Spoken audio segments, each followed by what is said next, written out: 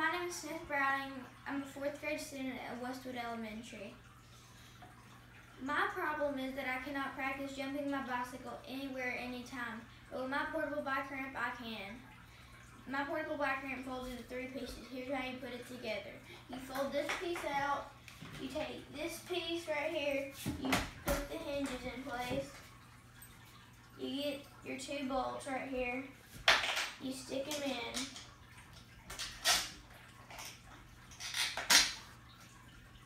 and then you pull this up just like this. And then you hook these in.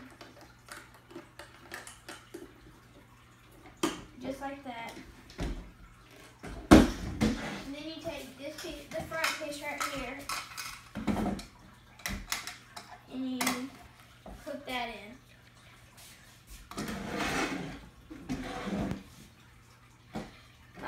My bike can help you learn how to jump and it can also be used for big bikes and small bikes.